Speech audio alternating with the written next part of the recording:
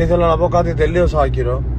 Παρατηρώ ότι όποτε πηγαίνω σε live έρχονται και με ρωτάνε πιτσιρικάδες ε, ξέρω εγώ κάνω μουσική, τι να γράψω ή πείτε μου ένα tip ή πες μου ένα tip πώς να το κάνω. Ρε φίλε, ο σκοπός πραγματικά είναι να εντυπωσιάσεις τη γειτονιά πρώτα. Αυτό είναι το main.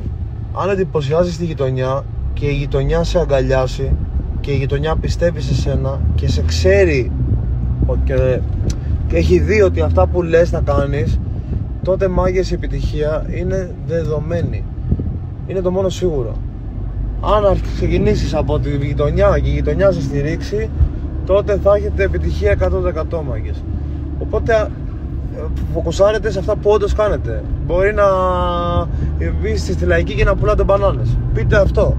Είμαι στη λαϊκή και πουλάω μπανάνες, αλλά θέλω να βγω από αυτό και θέλω ένα λάμπο.